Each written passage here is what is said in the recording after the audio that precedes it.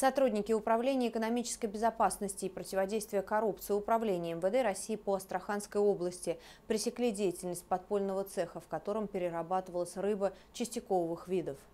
Установлено, что на территории частного домовладения индивидуальный предприниматель оборудовал камеру хранения, оснащенную мощными морозильными установками, а также производственные помещения для обработки рыбы.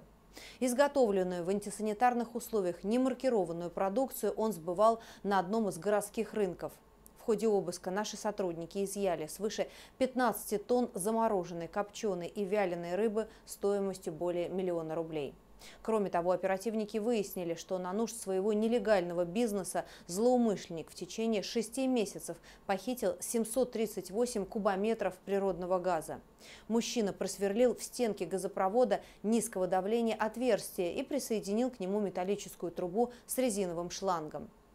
Сумма ущерба, причиненного газораспределительной компанией, превысила 4 миллиона рублей.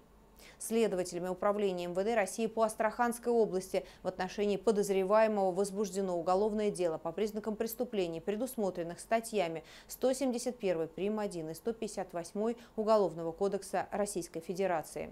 Ему избрано меры пресечения в виде подписки о невыезде и надлежащем поведении.